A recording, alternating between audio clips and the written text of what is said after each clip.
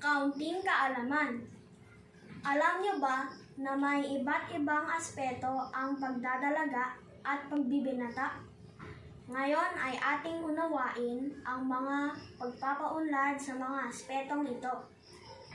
Una, ang aspetong pisikal sa pagdadalaga ay ang pagbabago sa kanilang katawan, katulad ng pagtangkad, pagkitid ng balakang, paglaki ng dibdib, at pagkakaroon ng buwanang regla.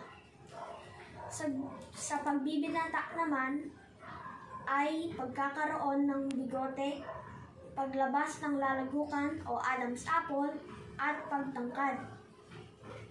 Pangalawa ay ang aspetong emosyonal. Halos magkaparehas ang babae at lalaki sa aspetong ito. Ang mga ito ay nagiging palakaibigan, pagkakaroon ng tiwala sa sarili, at pagiging maayos sa sarili. At sa panghuli ay ang aspetong panlipunan. Ang nagdadalaga at nagbibinata ay lumalawak ang kanilang kaisipan.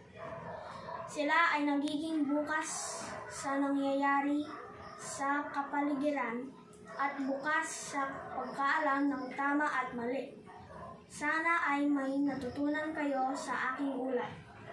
Ito po si Kuya Rain, nagsasabing ang buhay ay weather-weather lang.